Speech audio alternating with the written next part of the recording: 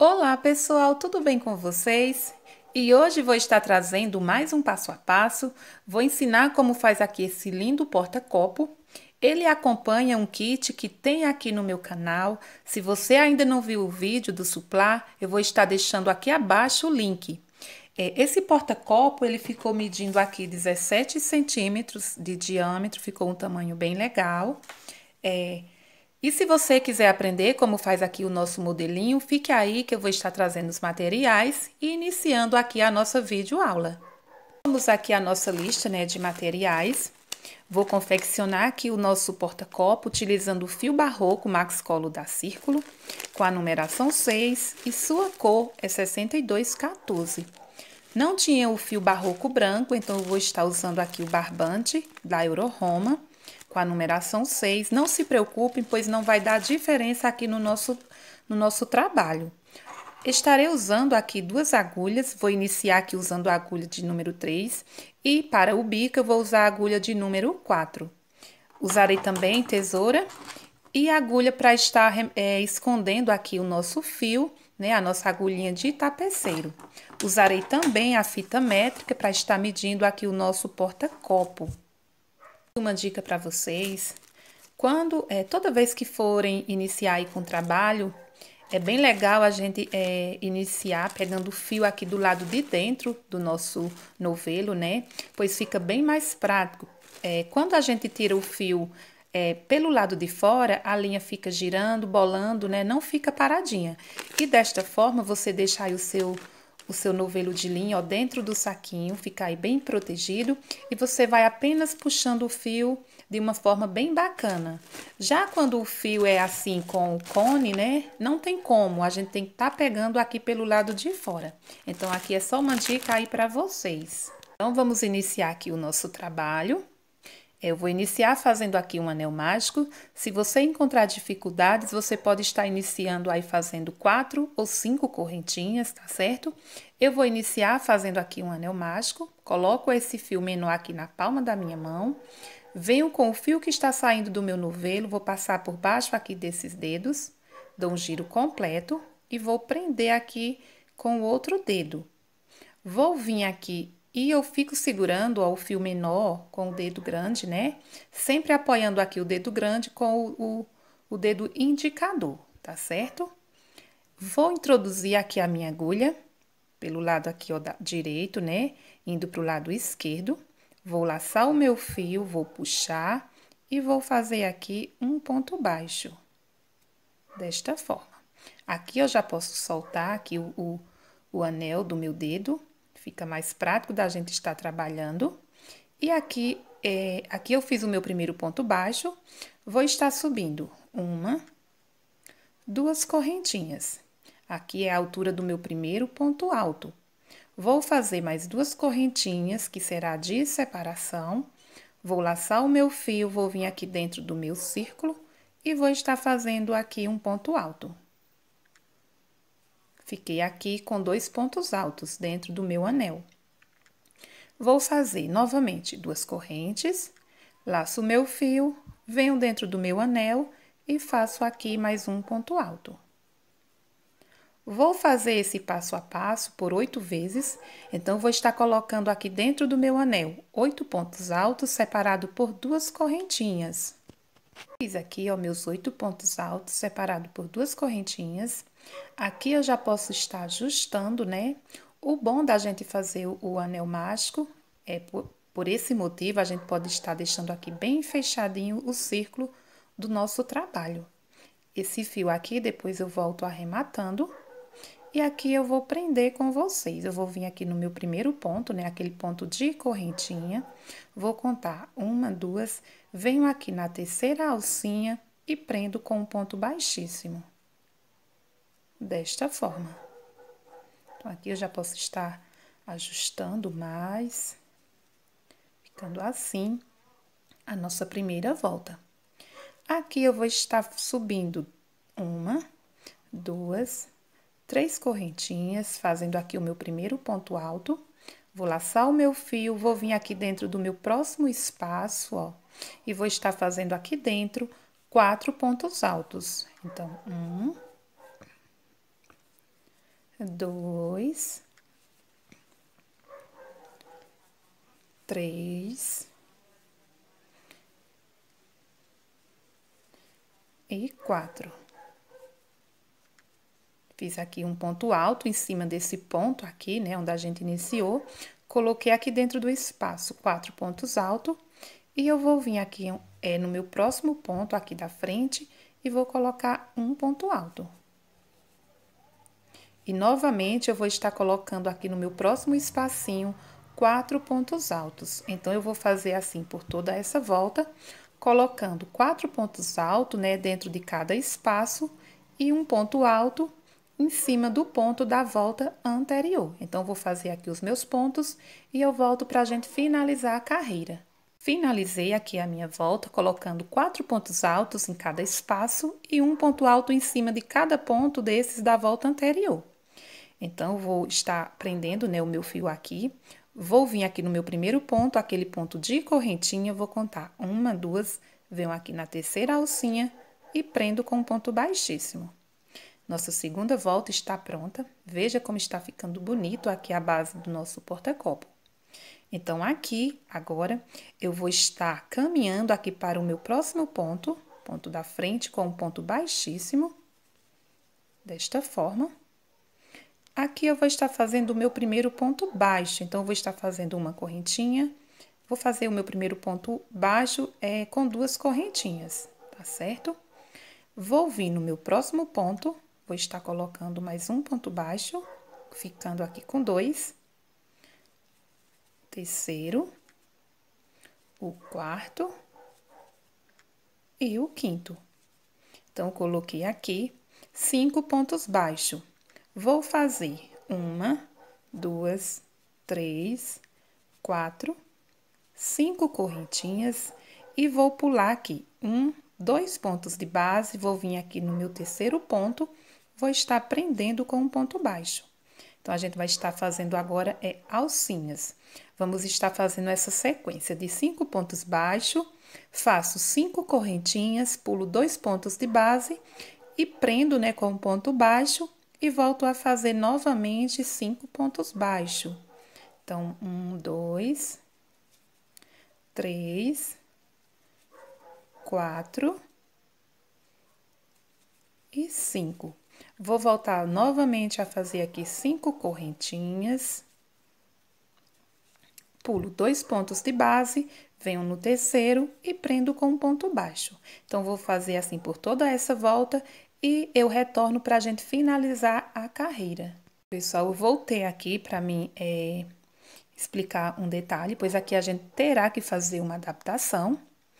Então, aqui a gente vai fazer o seguinte: você vai contar aí, quando você fizer uma, duas, três, quatro alcinhas dessa, né? Que a gente está fazendo alcinhas aqui de cinco correntinhas e pulando dois pontos de base.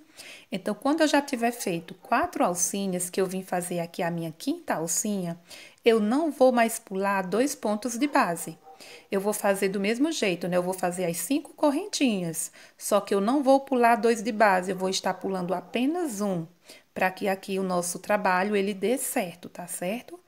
Então, aqui a gente vai estar pulando um ponto, vou vir aqui no meu segundo e vou fazer um ponto baixo.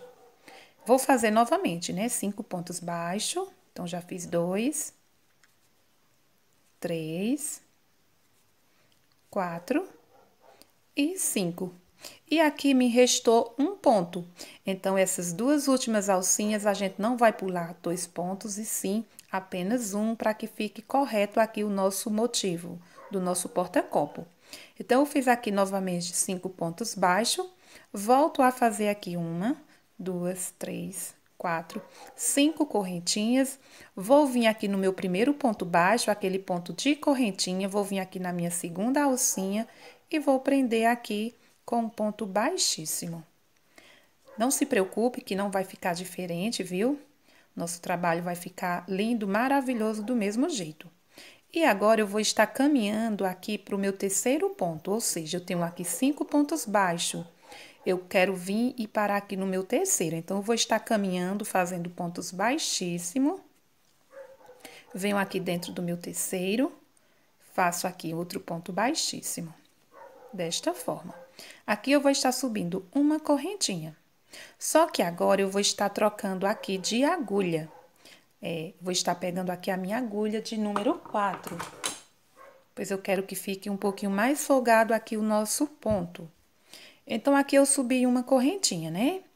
Vou laçar o meu fio. Se você já tiver aí um ponto folgado e você quiser continuar, não vai dar diferença. Eu apenas quero estar fazendo o quadro número 4, porque eu achei que ficou melhor.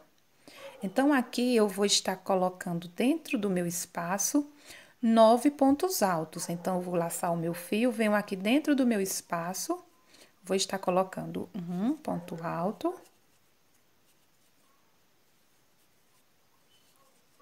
Dois. Três quatro, cinco, seis, sete, oito. Vai afastando, viu? Você procura não colocar os pontos um em cima do outro. Ele tem que ir ficando aí do ladinho, viu? Para ficar bem legal aqui o nosso biquinho. Então, já tenho oito e vou fazer aqui o meu nono ponto. Se você achar que nove pontos é, não é suficiente, você pode estar colocando dez. Eu já fiz aqui o meu com nove, eu gostei assim, então vou deixar com nove, tá bom? Mas se você quiser estar colocando dez, fique aí à vontade. Então, fiz aqui os meus nove pontos alto, vou pular um, dois pontos baixos, venho aqui no meu terceiro e vou estar prendendo aqui com um ponto baixo desta forma. Vou laçar o meu fio novamente, vou vir aqui dentro do meu próximo espaço e vou estar colocando novamente nove pontos altos. Então, eu vou fazer assim esse passo a passo, é por todos esses espaços, né, de argolinha, vou estar colocando nove pontos altos e prendendo aqui no terceiro desses cinco pontos baixos. Então, eu vou fazer assim, é, por toda essa volta e eu retorno para a gente dar continuidade aqui o nosso biquinho. Pronto, pessoal, é, terminei aqui, ó, distribuí aqui os nove pontos altos, né, em cada espacinho desses. Fiquei aqui com seis bicos, né, aqui do nosso modelinho de porta-copo. Fiz aqui o meu último ponto alto, vou vir lá onde eu fiz aquela primeira correntinha, vou introduzir aqui a minha agulha, vou laçar o meu fio e vou fazer aqui dentro, é um ponto baixíssimo. Prender aqui, ó, ficando aqui desta forma.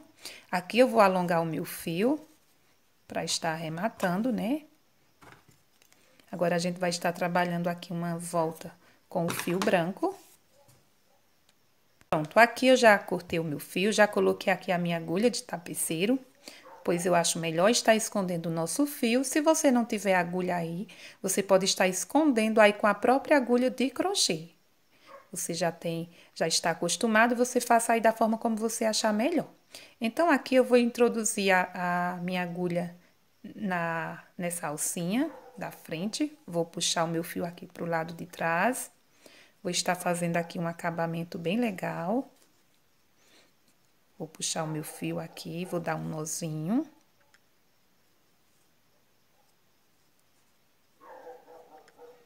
Dei um nozinho aqui. E agora, eu vou estar colocando a minha agulha, passando aqui debaixo desses pontos altos, ó, pra ficar aqui bem escondidinho a, o nosso fio. Desta forma. Eu posso estar dando aqui mais um nozinho, né, para ficar aqui bem seguro o nosso acabamento. Dá aqui mais um nozinho. Vou estar arrematando o meu fio. Vocês arrematem o de vocês. Lembre-se que o acabamento, ele é fundamental aí para valorização do trabalho de vocês. Então, aqui eu vou estar cortando. Vou fazer a mesma coisa, né, com esse fio aqui de onde a gente iniciou o nosso trabalho. Aqui, né, eu coloquei também o fio aqui na agulha de tapeceiro. Vou estar dando um nozinho aqui, para ficar bem seguro aqui o nosso fio, não se soltar. Eu vou caminhar aqui com esse fio, vou colocar ele aqui nesses pontos. Então, você vai fazendo aí o de vocês, da melhor forma que vocês acharem. Ó. E aqui eu coloco por baixo, né, para ficar aqui bem escondidinho. Fica aqui um acabamento perfeito.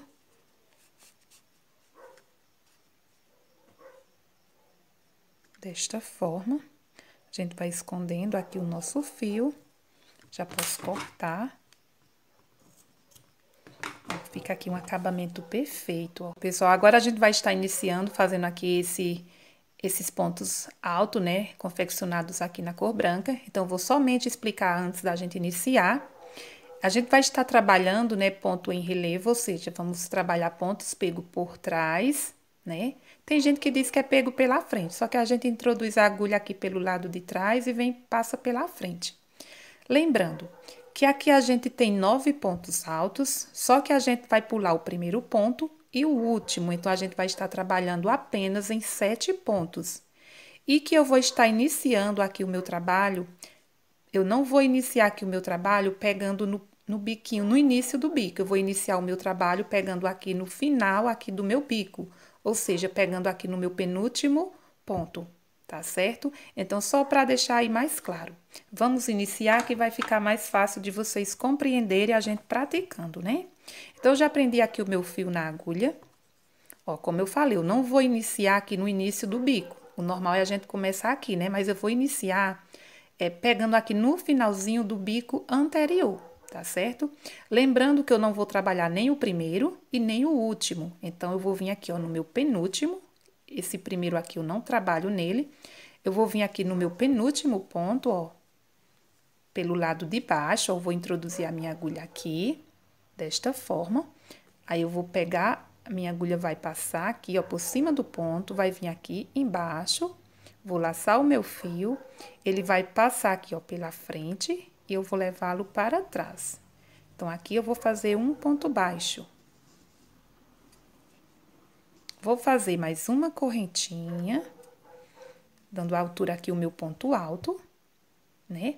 Aqui eu vou laçar o meu fio, ou seja, eu vou trabalhar o último ponto aqui e o primeiro ponto aqui do bico da frente, eles vão ficar unidos, tá certo? Então, eu não finalizei aqui o meu ponto alto, né? Eu vou ficar com a alcinha aqui na agulha, vou laçar o meu fio, vou vir aqui no meu biquinho da frente, lembrando que eu não vou trabalhar aqui o primeiro, eu vou vir por baixo, só que eu não vou trabalhar o primeiro, eu vou trabalhar aqui no segundo, ó. Vim por baixo, aí agora eu vou virar aqui a minha agulha, laço o meu fio aqui embaixo, puxo, ó, ele vai passar aqui pela frente, ó, tá aqui, ó, na frente. Dá pra vocês verem? Aí, eu puxo agora a minha agulha aqui pra trás. Fiquei aqui com três alcinhas na agulha. Vou laçar o meu fio, vou puxar. Ficar com duas. Laço o meu fio novamente e tiro tudo. Desta forma. Vou fazer aqui uma correntinha de separação. Vou laçar o meu fio, vou vir aqui, ó, no meu pontinho da frente. Novamente, vou virar a minha agulha, vai vir aqui pelo lado de trás, vou laçar o meu fio, puxo ele aqui, ó, ele está aqui na frente, aí eu puxo ele aqui para trás, enganchando aqui, ó. Se enganchar, a gente solta, mas deu certo. Aqui. Vou fazer o meu Próximo ponto alto, normal, ó. Sempre pego por trás, ó. Faço uma correntinha de separação, laço meu fio, vou vir no meu pontinho da frente, ó.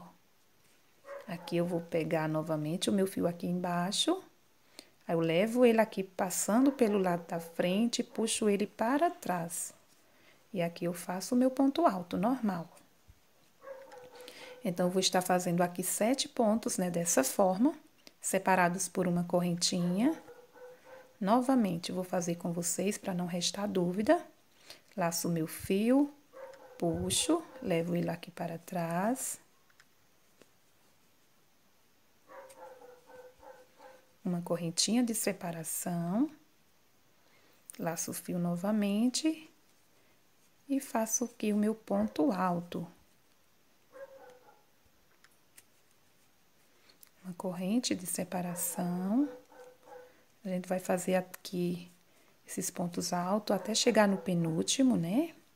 Uma correntinha. Cheguei aqui, ó. Está faltando aqui dois pontos altos, então eu vou estar trabalhando aqui no meu penúltimo.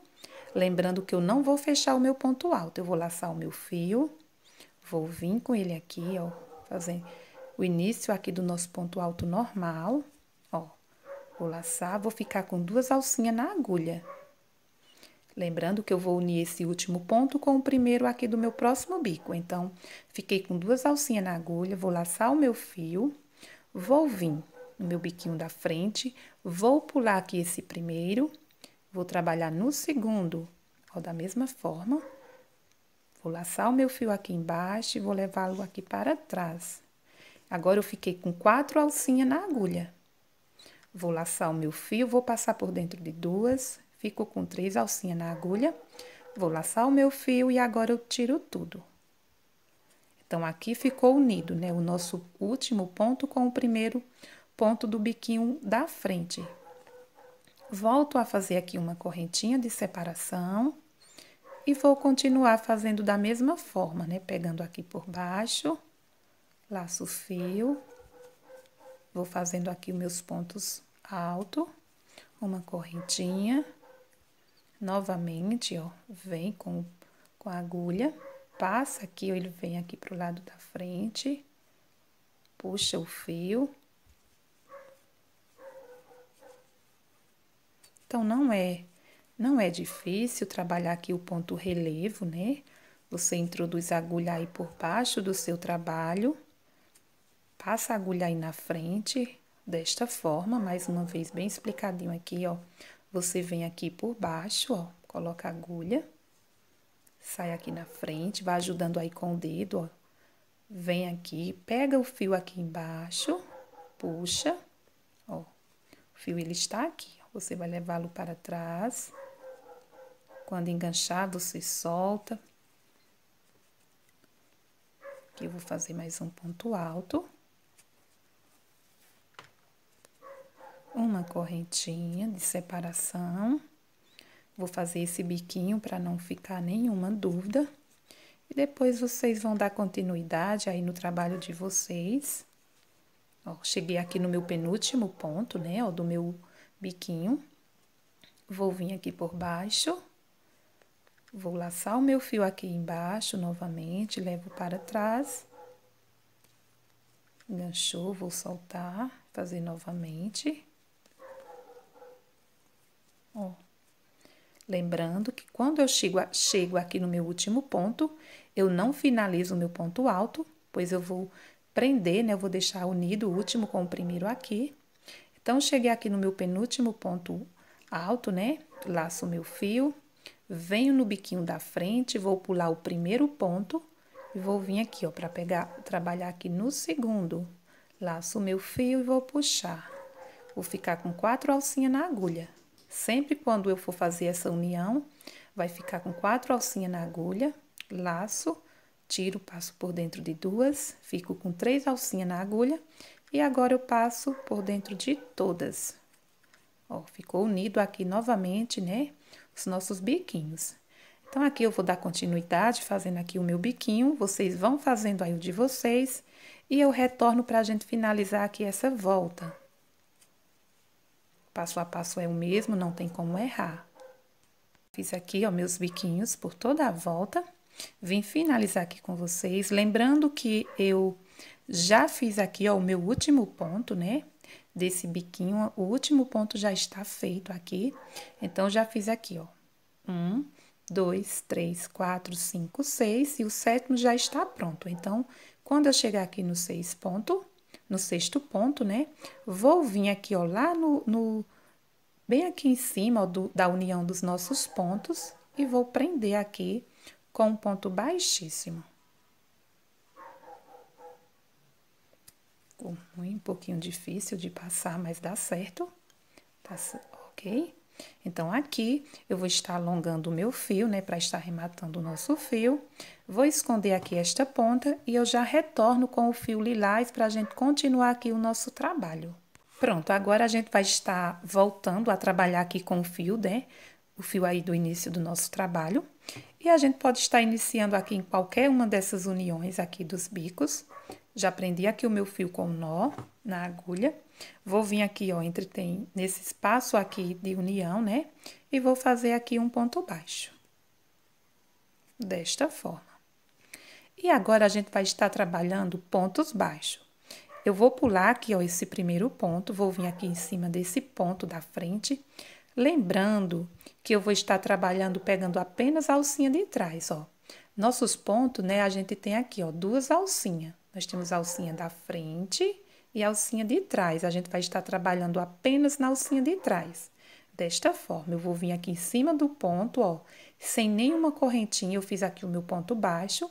Vou vir aqui, ó, pegando apenas a alcinha de trás e faço aqui um ponto baixo. Agora, eu vou estar fazendo uma correntinha de separação entre os pontos baixos. Vou fazer uma corrente, vou vir no pontinho da frente, ó, pegando apenas a alcinha de trás, faço uma, um ponto baixo.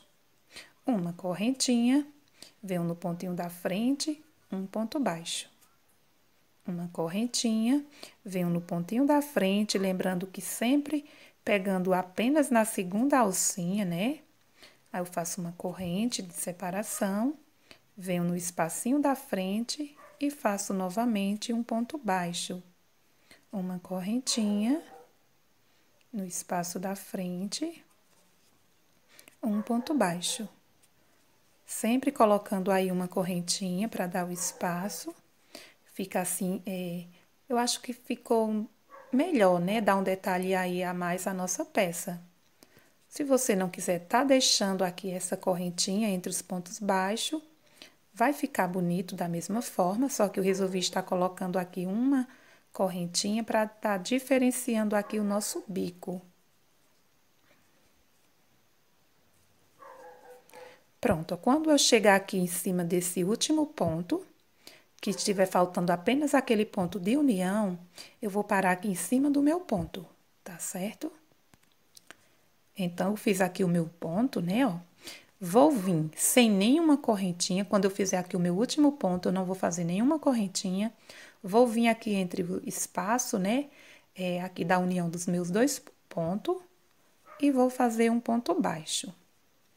Novamente, eu não faço nenhuma correntinha, vou vir aqui em cima do ponto da frente, ó, pegando apenas na alcinha de trás e faço um ponto baixo.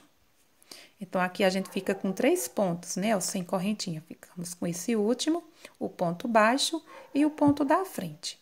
Agora, eu vou iniciar fazendo uma correntinha, venho no ponto seguinte e faço um ponto baixo. Uma correntinha venho no ponto seguinte, lembrando que eu pego apenas a última correntinha, uma correntinha e faço um ponto baixo.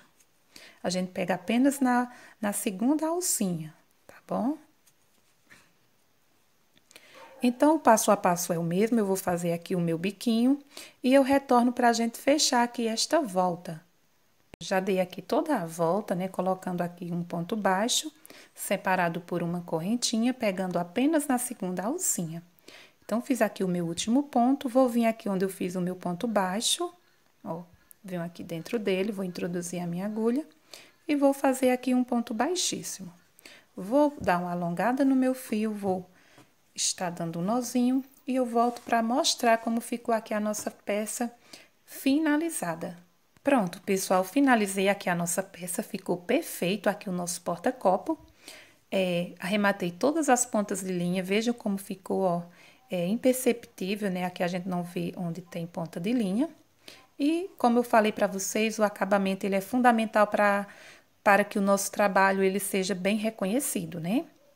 É, pessoal, eu quero explicar aqui em relação à minha voz. Às vezes eu estou gravando, né? Tem hora que o tom da minha voz está um pouquinho mais alto, outro mais baixo. Então, só explicando, né? Eu já fiz uma cirurgia nas cordas vocais, eu retirei um cisto e às vezes ela não quer é, sair normalmente, né?